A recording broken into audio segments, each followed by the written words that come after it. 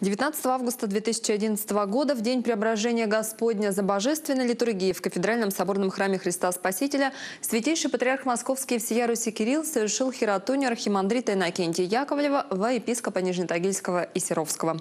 Сегодня исполняется уже два года, как архипастырь возглавляет одну из крупнейших уральских кафедр. Нижнетагильская и Серовская епархия была отделена от Екатеринбургской решением Священного Синода в июле 2011 -го. С тех пор тагильчане могут чаще участвовать в богослужениях архиерейским чином, слушать апостольские проповеди. Немало сил в развитие духовной жизни региона вкладывает первый правящий архиерей этой земли епископ Иннокентий. Уже два года трудится архипастырь и действительно преображает Нижний Тагил и его окрестности. Владыка имеет церковное образование, есть у него и светский диплом архитектора.